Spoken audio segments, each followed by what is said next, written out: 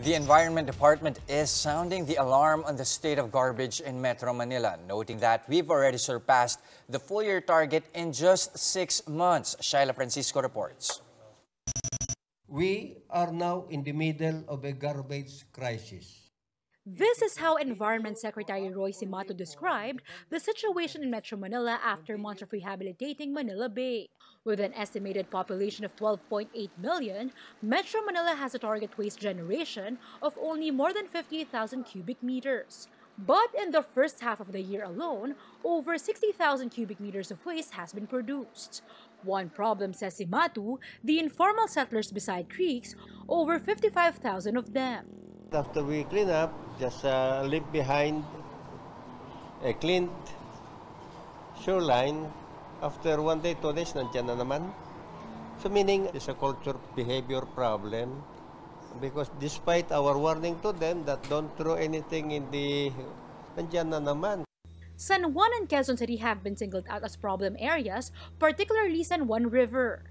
Pagpasok ko pa lang noon, nagpunta kasi ako, in-inspect ko yan eh. Right, nung nag-vote ako, nag-vote ako, pumunta ako sa ano, eh, hindi pa ako masyadong lumalapit doon, nangamoy na.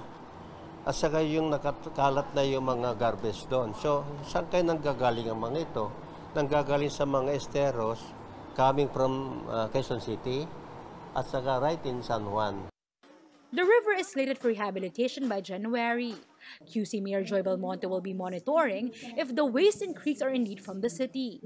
Lahat ng mga, ng mga river systems interconnected yan eh, 'di ba? Hindi naman ng isang city, isang river. Single-use plastics are no longer allowed in the city starting February next year, while the ban on plastic bags will take place in January. Yung goal naman natin is to reduce wastage na eh. So ang gusto nating goal ay masanay na kayo, magdala na kayo ng recyclable bags niyo every time you go to the markets. The DNR hopes to emulate this with their own order in the next two weeks. For now, they've tapped more than a thousand personnel to collect trash in narrow and tight areas. I think within uh, within the next two weeks, siguro may ano na namin yung department order prescribing already the use of plastic. But instead of banning, Senator Cynthia Villar suggests recycling as it helps with employment. When you say a ban, may kapalit ba sa packaging? That's the question. So we have to hear them kung ano ang alternative nila sa single-use plastic. There are now bills in Senate banning plastic. A hearing of which may happen in January. For now, Villar notes the DNR was given a budget for 2020 to help local governments set up plastic recycling factories in all cities and provinces. Shaila Francisco, We Are One News.